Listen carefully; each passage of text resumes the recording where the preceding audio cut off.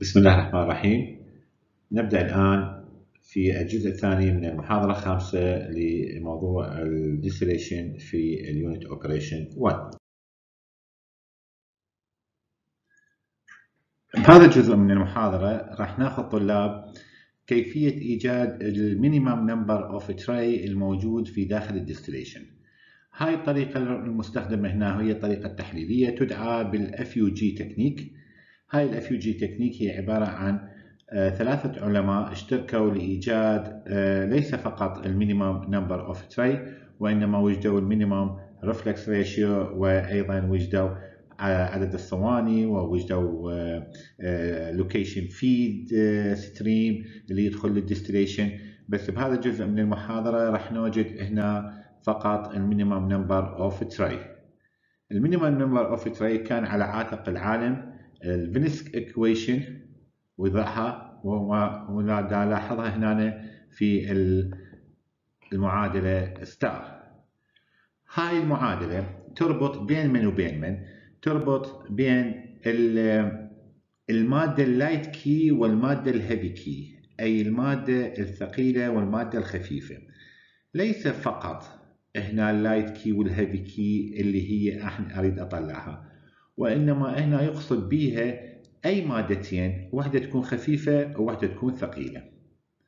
هاي المعادلة وجدها ال Fenske equation من ضمن المعادلات اللي قلنا اشتركوا بها ثلاث علماء Fenske و Underwood و Gilliland فلهذا هي مختصرة تدعى بال Fenske Underwood Gilliland method اللي هي FUG نلاحظ بانه هاي المعادلة متكونة من كسر البسط متكون من ال log ال log منين متكون؟ متكون من ال mole fraction للمادة A بال distillate يعني المادة الخفيفة بال distillate ال mole fraction على ال mole fraction لنفس المادة بال waste. أيضا المادة الثقيلة بال waste اللي هي المادة B بال waste على المادة نفسها B بال distillate إذا واحدة mole fraction واحد عكس الآخر على المقام اللي هي log alpha AB average طلاب ال log alpha BA average هنا يقصد بها المادة التطايرية للخليط المتكون من المادة الخفيفة والثقيلة.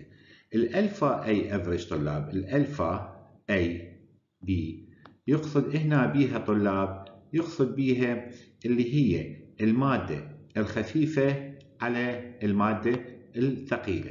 يعني المادة التطايرية للمادة الخفيفة على التطايرية للمادة الثقيلة وكما موضح هنا بهذا القانون بما أنه عندي أنا مادتين مادة خفيفة ومادة ثقيلة فالمادة الخفيفة تكون هي الأولى والمادة الثقيلة تكون هي الثانية.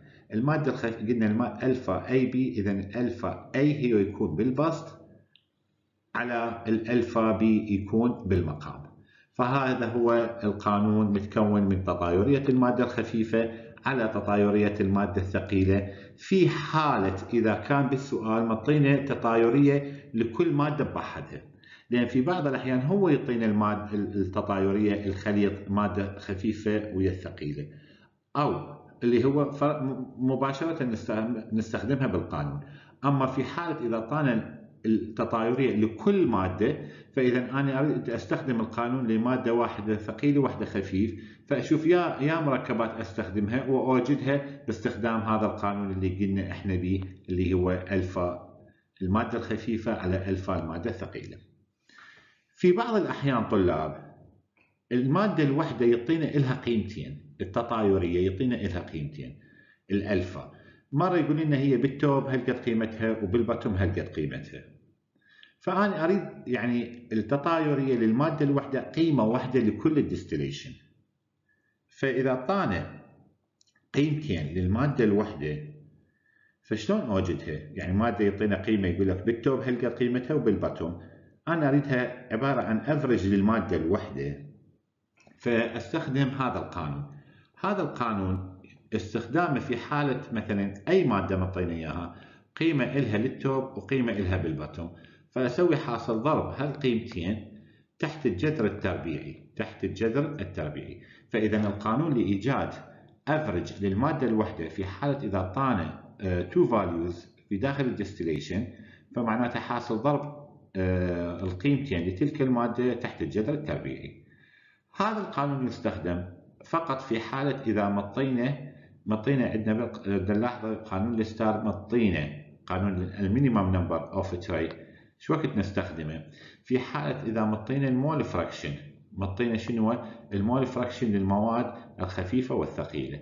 مثل الجزء الأول بال بال بالمحاضرة. القانون الثاني اللي أقدر أيضا أطلع من عنده ال minimum number of tray اللي هو هاي المعادلة اللي بيها 2 stars أيضا هي عبارة عن كسر. log ال recovery للمادة الخفيفة بال distillate في ال recovery للمادة الثقيلة بال bottom بال waste. على واحد ناقصا D نفس AD الموجودة بالأعلى مضروب في واحد ناقصا دبليو هنا دي أو الاف بي دبليو أقصد بها شنو؟ ال recovery اللي نحصله يقول لك المادة A بال distillate ال FAD معناتها المادة A بالديستليت هي الخفيفة يقول لك 99% والمادة الثقيلة اللي هي B راح تطلع من الأسفل هي مثلا 99 ونص مثل ما أخذناها بالمثال الموجود بالجزء الأول من المحاضرة رقم 5 قايلين لنا بأنه المادة A قال مثلا تقطر 99% بالأعلى. والمادة B اللي هي الثقيلة من الأسفل تطلع من الجهاز بنسبة 99.5 هاي أقصد بها recovery اللي هو هنا ال F على الكل log ال alpha AB average اللي هو نفسه اللي موجود بالمعادلة أعلى. نفسه نفس الطريقة شلون نحسبه؟ نلاحظ بالمعادلة نرجع للمعادلة ال star الموجودة بالأعلى. نلاحظ بأنه بنهاية القانون أكو ناقصا واحد أكو بنهاية القانون ناقصا واحد. هذا هنا شو يقصد الملاحظة الموجودة بأسفل القانون اللي هو ال minimum number of tray يقصد بها راح نطلع قيمة ال minimum number of tray عددهن فرضا طلع 6 هاي معناتها عدد الصواني 5 زائدا ال reboiler راح يحسبه كصينية فيصير 6 أنا إذا أريد بس عدد الصواني فأنقصها لازم واحد فيصير 5 يعني القيمة ال N minimum اللي راح أطلعها هنا. فرضا لو كانت 6 معناتها أقصد بها خمس صواني زائد ال reboiler إذا أريد بدون ال reboiler معناتها حتكون 5 أوكي؟ هذا القانون القوانين اللي راح نستخدمها. مو معناتها فقط تستخدم مثل ما قلنا فقط لل light وال heavy اللي هو الأساسيات. لا أنا أقدر أستخدمها لإيجاد أي light و heavy أنا أحتاجه باستخدام نفس القانون باستخدام نفس القانون أطبقه مرتين وأوجد قيمته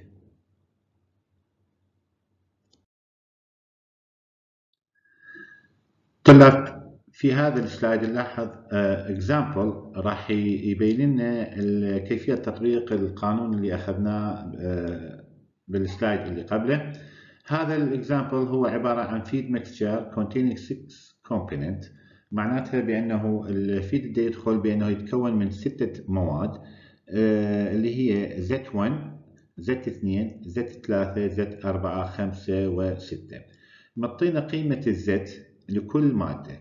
هاي القيم المطينة هي عبارة عن نسب الست مواد بال feed اللي يدخل لل distillation يقول لنا بأنه هذه راح يصير بها عملية فصل. آه، لهذه تلك المواد في داخل ال distillation. إيش راح يصير عندنا؟ إيش راح ينفصل؟ راح ينفصل المادة اللي هي component 3 بنسبة 98.5% اذا راح ينفصل ال component 3 بنسبة 98.5% وين راح يذهب؟ goes to distillate. اذا المادة الثالثة هي اللي راح تذهب إلى الأعلى. المادة الثالثة هي معناتها ما طول ما اعطينا قيمتها اللي راح تذهب إلى الأعلى معناتها هو حيكون ال light key المادة الثالثة هي اللي راح تكون ال light key إذا شنو؟ آه، آه، موقع المادة الأولى والثانية.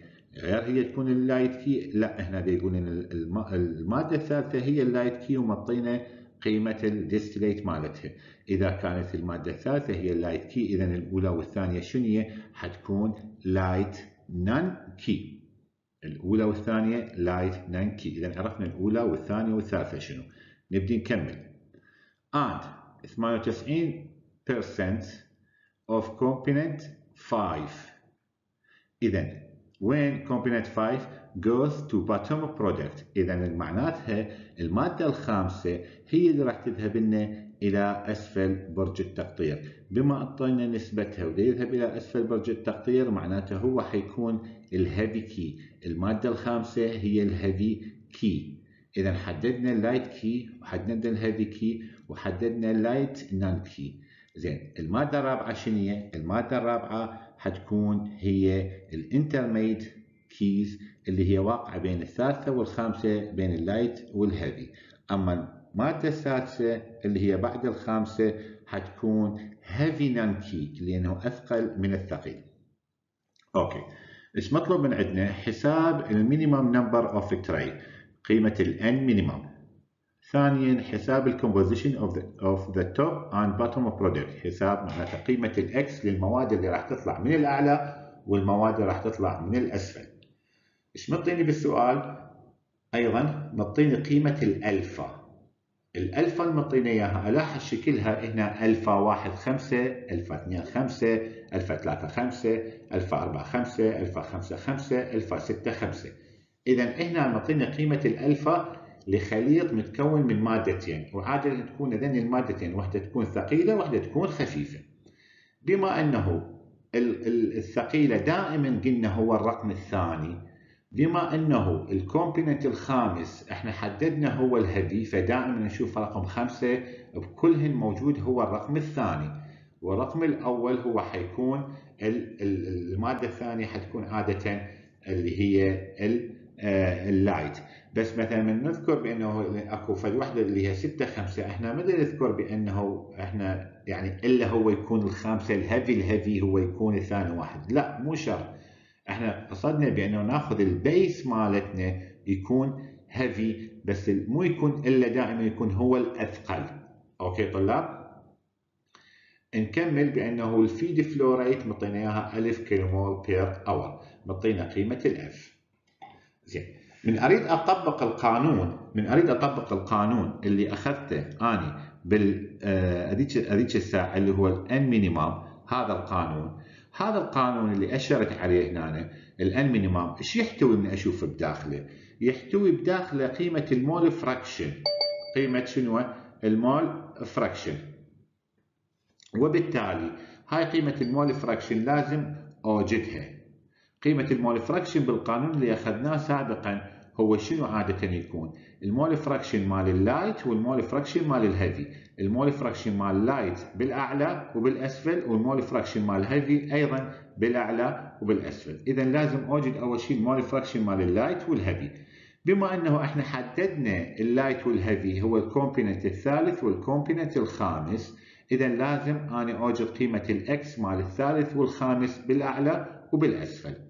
شلون اوجدهن بما أنه هو multi component system نفس الطريقة اللي وجدتها بالجزء الأول بال example الموجود بالجزء الأول لهذه المحاضرة الجزء الأول اللي هي محاضرة رقم خمسة لإيجاد قيمة ال composition مال ال light وال heavy وكل المركبات في حالة ال multi component system شنو كانت مالتنا؟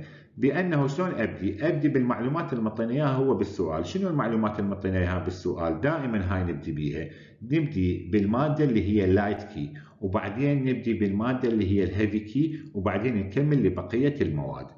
نبدي بالمادة اللي هي ال light key اللي هي شنو هي ال light key عندي؟ ال light key الموجودة هنا اللي هي نسبتها اللي تطلع من الأعلى هي 98 ونص، نسبتها تطلع من الأعلى 98 ونص. بس بالبداية هسه لازم شلون نوجد نسبتها أو كميتها اللي موجودة هي هنا نقصد هنا مو نسبتها 98 ونص يعني هو يسموها ال recovery إيش قد راح نحصل 98 ونص من ال mixture كله مو نسبتها هي الحقيقية لأنه 98 ونص. فشلون نوجد كمية تلك المادة موجودة بالأعلى؟ شلون أوجد كمية تلك المادة؟ إحنا كمية تلك المادة اللي هي رمزها هذا كمية تلك المادة هي عبارة عن الكمية الكلية في نسبة تلك المادة. شلون أوجدها؟ أوكي؟ فأوجدها عن طريق شنو؟ الكمية الكلية مال الفيد اللي هو الألف أضربها في نسبة تلك المادة. إيش راح تطلع لي نسبة تلك المادة؟ وين؟ بالفيد. راح تطلع لي كمية المادة بالفيد. هاي كمية المادة بالفيد إيش قد يصير بها عملية تقطير؟ يصير بها عملية تقطير 98 ونص مثل ما قال لنا هو بالسؤال. وبالتالي حاصل ضرب الفيد في نسبة تلك المادة في الفيد. في في كمية المتقطر هذا راح يطلع لي أو في نسبة المتقطر راح تطلع لي كمية المتقطر. راح تطلع كمية المتقطر. إذا عرفت أني كمية المتقطر إيش قد؟ هسه بنفس آه، نكمل شغلنا بأنه إحنا نريد نعرف آه، مو كمية المتقطر نريد نعرف إيش قد راح ينزل من هاي المادة بالأسفل. باستخدام اللي هي ال component material balance لتلك المادة ال component material balance لتلك المادة اللي هي. شو يقول لنا؟ يقول لنا بأنه إذا كانت المادة أريد أطلع كميتها بال feed اللي هي F بيش أضربها؟ في ال Z ال Z مالتها اللي هي مادة الثالثة. شو يساوي لنا؟ هاي كمية المادة مالتها بال feed وين راح يروح؟ راح يروح من عنده جزء بالأعلى وجزء بالأسفل. إذا معناتها عندي الكمية اللي بالأعلى بيش أضربها؟ في كم في نسبة المادة اللي هي الثالثة اللي هي قلنا ال dist... الثالثة ال light. وين بال distillate؟ زائدا كمية ال W ال waste في كمية نفس الما... في نسبة المادة اللي هي وين تظهر؟ بال waste أوكي؟ أنا أريد هذا. أنا أريد من هو أنا أريد هذا. ال F وال Z عندي. وال D X 3 D هسه طلعته. فراح أوجد هذا. هاي القيمة. فراح أوجد دي إكس دبليو إكس 3 دبليو من القانون ال component material. فلاحظت بأنه آني وجدت هذا هو القيمة. وجدت هاي هي القيمة. هاي مال من هو؟ مال ال light key. أجي هسه على ال heavy key. نفس الأسلوب طلاب بس شنو عندي؟ أنا بال light key بيش بديت بال light key. بديت بما أنه هو light بديت بالأعلى وبعدين حصلت الأسفل. بال heavy key أبدي بالأسفل وبعدين أوجد الأعلى مالته. لأن هو ال heavy key وين دا يعطيني قيمته؟ دا يقول لي 98% دا يطلع من الأسفل. اذا أوجد كمية المادة الهيفي بالأسفل. شلون اوجدها كمية المادة الهيفي بالأسفل؟ اللي هي الفيد. في نسبة المادة بالفيد في قد يروح نسبتها بالأسفل فراح يطلع من عند يطلع كميتها بالأسفل. نفس القانون اللي هسه كتبته أني أستخدمه بالعكس. أقول كميته اللي هو بالأعلى منين جاي جاي من كميته بالفيد ناقص كميته منين بالأسفل. فطلعت كمية المادة ال heavy وين؟ بال distillate بالأعلى. من طلعت هذني القيم من طلعت هذني القيم شو استفاد من عندها؟ أنا أرجع. القانون يقول لي هسه اللي مأشر عليه هذا يقول لي هي المعطيني إياه بال log جوا ال log هو ال mole fraction بس إكس شوفوا إكس مضروب في إكس على إكس مضروب في إكس هذا. أنا مطلعهن هنا الكميات هذا وهذا وهذا وهذا. مطلعهن ال X مضروب بيش ب D أو W نفس الحالة أجي أخذ اعوضهم بالقانون. من اعوضهم بالقانون شوف إيش صار عندنا. هذني. أقدر معناته أختصر ال D ويا ال D وال W ويا ال W فيبقى لي فقط ال X أوكي؟ هذا هو اللي أريد أفهمكم عليه. بالإضافة إلى أنه المقام طبعا طلعت قيم هنا وهي راح أعوضها بالقانون بالكسر. المقام شنو عندي؟ المقام عندي log ال volatility log ال alpha مال يا مادة ويا مادة مال المادة الثالثة والخامسة. الثالثة هي الخفيفة والخامسة الثقيلة. اذا log alpha 3 5 log alpha 3 5 أرجع للمعطيني وين 3 5 هذا 3 5 المعطيني إياه هذا 3 5 أوكي؟ إذا أجي أعوضه.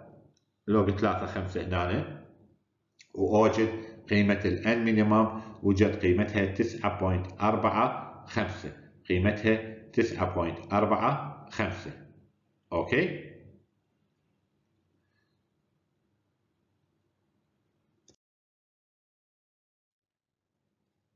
أقدر أستخدم طلاب. القانون الثاني اللي هو لإيجاد ال N minimum القانون الثاني لإيجاد ال N minimum باستخدام القانون 2 star اللي وجدناه. بس هنا باستخدام من هو؟ يقول لك باستخدام ال recovery اللي هو أقصد به الريكفري اللي هو ال F اللي معطيني إياه هو بالسؤال هذا وهذا. ال F F recovery مال ال distillate يقول 98% ونص ومال ال bottom مال ال bottom بالضبط اللي هو ال waste اللي هو 98 هذا القانون أقدر أستخدمه مباشرة بدون ما أوجد قيم ال X رأسا اطبقه بالقانون وأوجد قيمته اللي راح تطلع لي 9.45 9.45 آه هناك ليش ليش استخدمت أذاك وما استخدمت هذا القانون مباشرة وفضيته للموضوع؟ لا لأنه في بعض الأحيان أو مو مثل هسه الموجود عندنا بهذا السؤال هو دا يريد ال composition. يعني بكل الأحوال أنتم الطريقة اللي استخدمتوها لإيجاد بال light key وال heavy key لإيجاد ال X أنتم مرغمين هسه بالمطلوب الثاني راح تسووها فراح نسويها تقدرون تسووها من البداية وتخفف عليكم الحل. Okay؟ زين. هسه إحنا وجدنا ال composition مال يا مادة مال المادة الثالثة وال composition مال المادة الخامسة. لأن المطلوب الثاني يريد ال composition مال كل المواد. فإحنا هسه بالطريقة الأولى وجدنا ال composition مال الماده الثالثة والخامسة. هسه المفروض نوجد ال composition مال الأولى ومال الثانية ومال الرابعة ومال السادسة. Okay؟ أكو طريقه نقدر نستفاد من عندها من اللي من القانون مال ال N minimum اللي هسه ذيك الساعة قلت لكم أنا عليه بأنه ليس في حالة إلا اللايت والكي اللايت والهيفي أقدر أستخدمه. لا أنتم أي مادتين سواء كانت light وياها heavy نقدر نستخدمه نعتبره light و heavy ونقدر نستخدمه لإيجاد ال N minimum أو نقدر نستخدمه لإيجاد ال mole fraction لأي مادة مجهولة. يعني شنو؟ ال N minimum اللي أني استخدمت القانون السابق اللي هو هذا ال N minimum هذا ال N minimum قانون اللي استخدمته بين من وبين من؟ هذيك الساعة استخدمته بين الثلاثة والخمسة. أقدر أستخدم نفس القانون ال minimum بين من؟ اللي هسه داريد أخلي ببالي أوجد مال المادة الأولى. فإذا أقدر أستخدمه بين المادة الأولى وأي مادة معروفة. أنا الأولى مجهولة والمادة المعروفة اللي أنا لو ثلاثة لو خمسة. يعني شنو؟ يعني أنا هسه أقدر أستخدم ال N minimum لإيجاد ال mole fraction لأي مادة مجهولة. شلون؟ أربط مادة مجهولة ويا مادة معلومة. على أن تكون واحدة طبعا خفيفة واحدة تكون ثقيلة. زين. هالمرة راح أريد أوجد أقول للمادة الأولى. المادة مجهولة مال المادة الأولى. أنا عندي فقط الثالثة والخامسة معلومة. راح آخذ المادة الأولى والمعلومة آخذ المادة الثالثة. المادة الأولى حتكون شنو light لأن هي خفيفة. والمادة الثالثة حتكون هي ال heavy. Okay؟ من أجي أطبقها بالقانون الرموز فشوفوا هاي. أنا ما عندي بس X ات راح تكون بدلالة من هو ال D وال W المادة الأولى الخفيفة بدلالة ال D بالأعلى وال W بالأسفل. والمادة الثقيلة يكون ال W بالأعلى وال D بالأسفل. Okay؟ هاي بالنسبة لل X فهتكون بهالطريقة.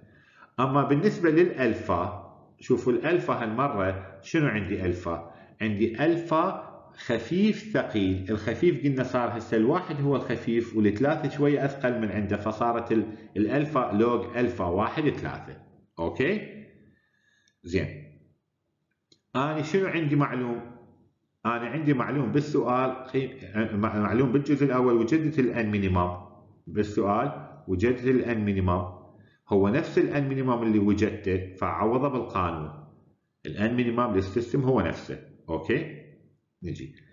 أي شيء داخل هسه هذا داخل هذا أي شيء بي واحد هو مجهول. لأن أنا ما أعرفه.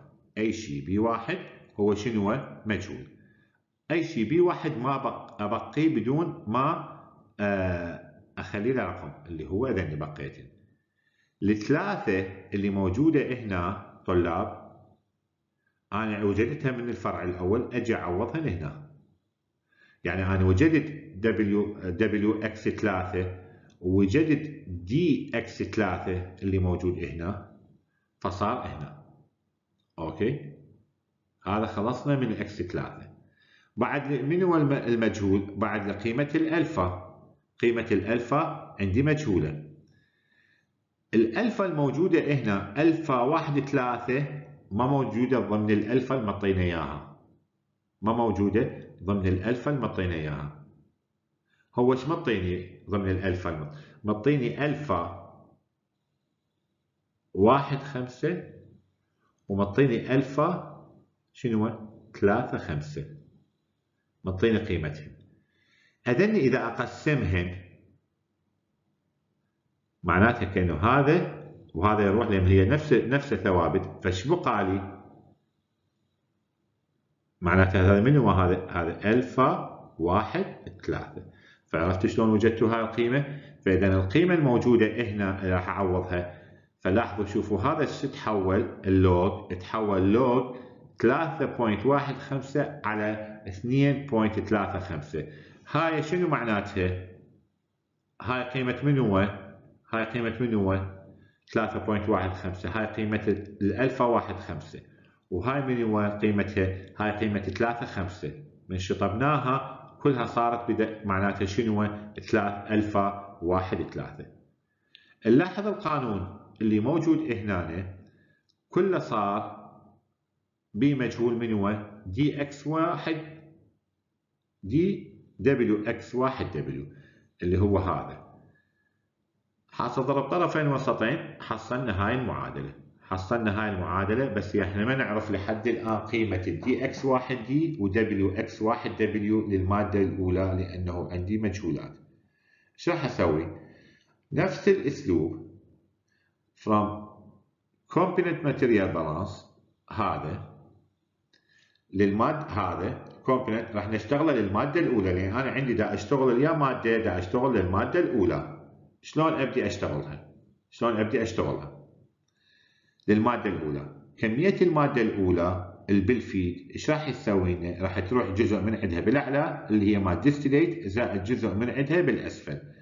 نيجي على الجزء اللي بال feed اللي هو كمية ال F، F في ال Z مالته هذا كله مطيناه هو أصلا بالسؤال.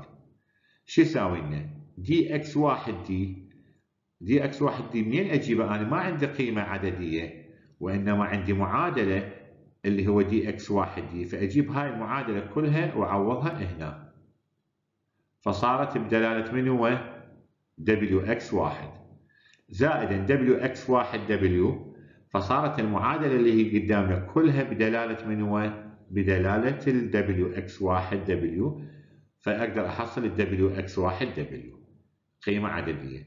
من حصلت القيمة العددية WX واحد W أجي أعوضها هنا أحصل من هو DX واحد D DX واحد D اذا حصلت هنا لاحظت بأنه أنا إيش حصلت هسه؟ بهذا الحل عن طريق ال N minimum حصلت قيمة دبليو إكس واحد دبليو ودي إكس واحد دي مال يا مادة مال المادة الأولى.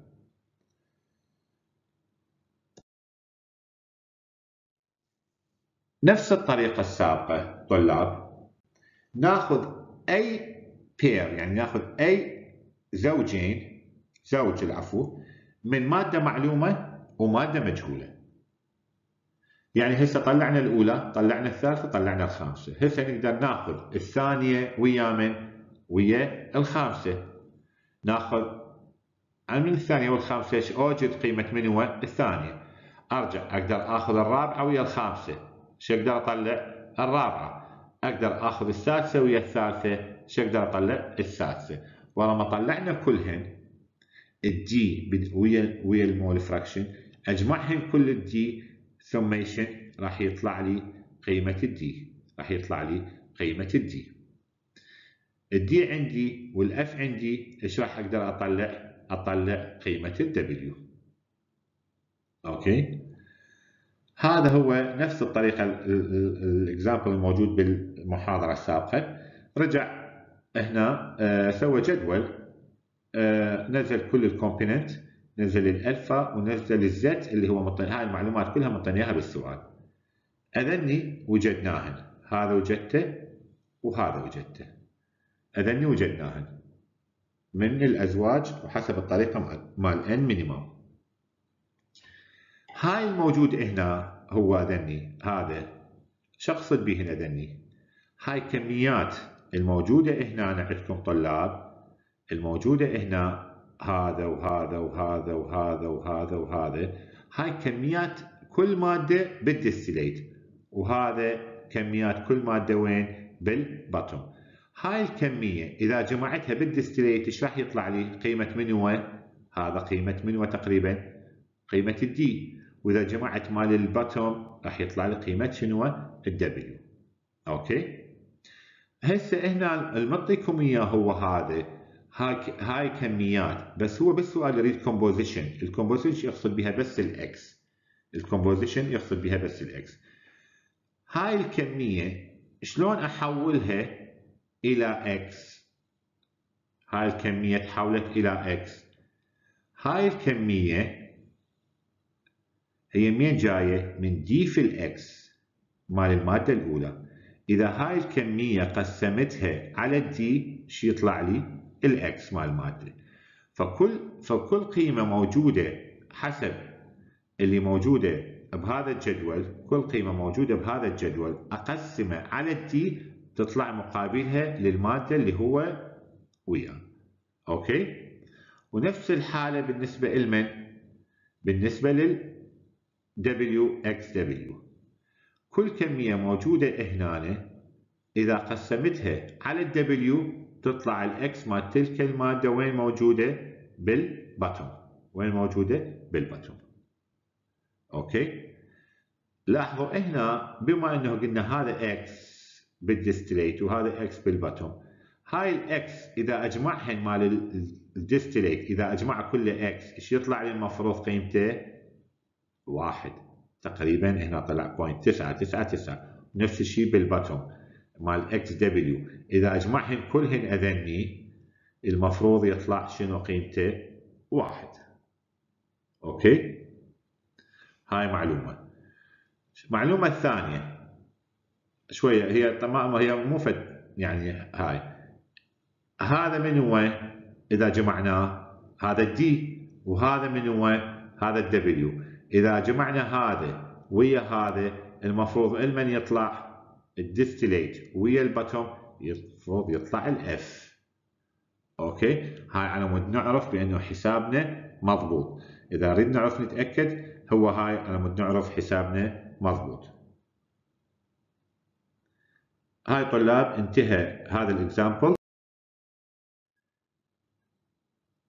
إن شاء الله تكون هذا الجزء من المحاضرة واضح. هي لإيجاد ال minimum number of trays في ال distillation في حالة ال multi component system أستودعكم الله وإن شاء الله في جزء ثالث من المحاضرة الخامسة.